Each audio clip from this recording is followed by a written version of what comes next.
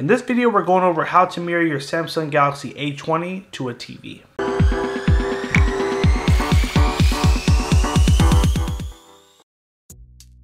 Hey guys, thank you for joining us today.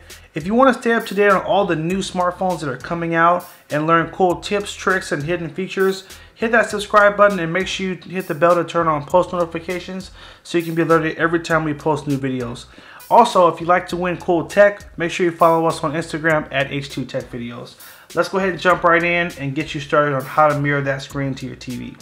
Alright guys, so to make this work, there are three requirements. The first one is you will need an HD TV that has an HDMI input. The second thing you'll need is home Wi-Fi or Wi-Fi network which um, hotspots don't really count because they don't tend to work as well with this uh, method I'm going to show you. The third thing you will need is either a Chromecast or a Roku. We're going to use one of those two devices and you're going to be wirelessly mirroring your screen to your TV. Now I'm going to show you um, two methods to mirror your screen. Um, the first method is basically going to mirror exactly what is on your screen. So if you move the screen, you will see that on the TV. If you play a game, whatever's on your screen will show on the TV. The second method is how to mirror just a video from your phone to the TV. So maybe you have YouTube on the phone, for example, you just want to play that YouTube video on your TV. I'm going to show you how to just mirror that video and continue to use the phone to do other things while the video is playing. So those are the main things you need to know. Let's jump in and get started. The next important step is you are going to need to grab your TV remote. So after your Chromecast or Roku is plugged in, you will need to grab your TV remote and usually you'll have a button that either says source or it says input. This is the button that's going to allow you to switch to um, that HDMI port that you have your Chromecast or your Roku plugged into.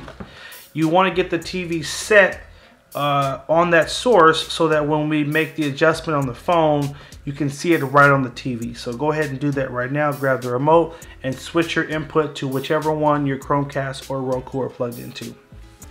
The next thing you will need to do is swipe down from the top of the screen swipe down again and look for the option that says Smart View. We're going to tap on that and this will show you a list of all the devices that you can um, mirror your phone to. So I have two devices plugged in. I have a Chromecast, which is named Office TV, and I have a Roku, which is named Office. So I'm going to tap Office TV and you guys should see that um, just that quick the phone is mirrored to the TV now there is this option where you can change the aspect ratio but I don't usually change it. So I'm gonna hit cancel.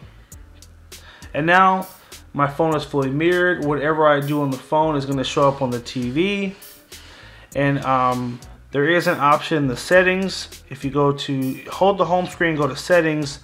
You can um, change the layout of the phone so that when you rotate the phone, so tap rotate to landscape mode. Now when you rotate the phone sideways, even on the lock screen, the phone will automatically rotate. So just to show you, it fills up more of the screen.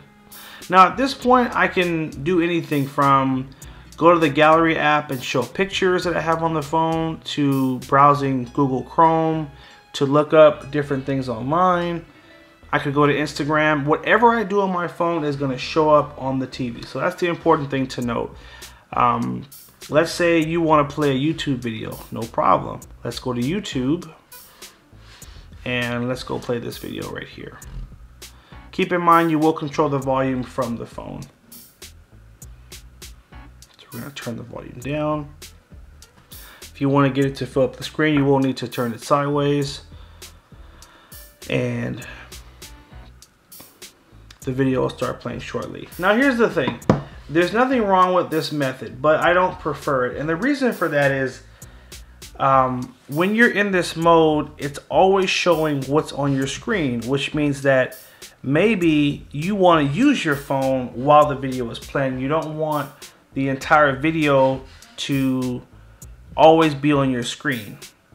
So really this mirroring method only works when you're trying to control something on your screen like a game or a PowerPoint, something where you would need to continue to interact with the phone and also have it show on the TV. So to me, this is not the best method for showing a video. So that's why I'm gonna go into the second method, which is gonna show you how to just mirror the video without uh, it taking over the whole screen. So look for this little button. This is your smart view button. Tap on that and just tap disconnect and it, you'll see that it has disconnected and you're back to your normal Google Chrome um, screen there. So the way to make this other method work is going back to YouTube. And you know make sure you've tapped on your video make sure it's open. Let's pick a different video. Now in the upper right corner of the video we have this little icon. It is called the cast icon. We're gonna tap on that icon and these are my two devices that I shared at the beginning. So Office TV is the Chromecast and Office is the Roku. So I want to send it again to my Chromecast. So I'm going to tap on that. And you'll see now that the TV has changed and now the video is playing only on the TV. Now I can go home and I can go to my text messages. I can browse the web. I can do whatever I want and that video is gonna play on the TV. And that's why I like this feature because with this method, you're able to still use the phone to do other things and have the video play simultaneously. So this is my preferred method because I only really ever use screen mirroring to watch videos. You might use it for other things. There might be a game that you and your friends like to play and you want to watch the gameplay on the TV in a scenario like that, the first option or the first method would be the best. So uh, pick the one that works better for you and now you know how to do it because we walked you through both on the, on the video. To end it, you're gonna just swipe down from the top and you'll see YouTube as one of the options. And there's a little arrow right next to the top of the little notification. If you tap on that, you can then hit the little X and you can stop the video from playing and that will end it. Now I will leave a link in the description below of where you can purchase a Chromecast or a Roku to make this work for you. Um, again, it's it's not too complicated. Now, just as a disclaimer, I, I often make these videos and people will ask, well, I don't have Wi-Fi. I just want to play what's on my phone on the TV. Well, unfortunately, with this phone, it does not support MHL, which is it's a feature that will allow you to plug a cable directly into the charging port and then run that to your TV.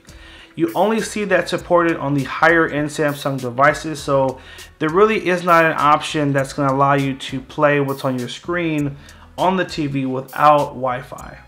So unfortunately, this is the really the only way to do it. If you know another way, hey, leave it in the comment section down below. But to my knowledge, um, there really aren't too many other ways to mirror your screen other than a Chromecast or a Roku, and there are certain Amazon Fire devices that will also work as well. So anyway, I hope you guys did find this video helpful.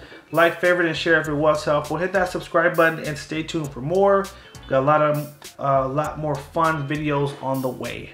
Have a good one.